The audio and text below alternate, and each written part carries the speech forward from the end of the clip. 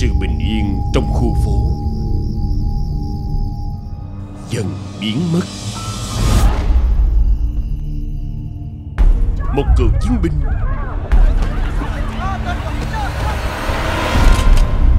Trở thành người hùng bất đắc dĩ.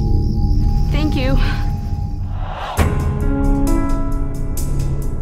nhưng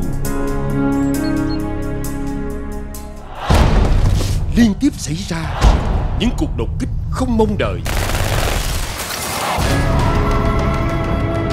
Và giá trị của sự trả thù. Đón xem kẻ trộm ô tô phát sóng lúc 21 giờ thứ bảy ngày 17 tháng 11 năm 2012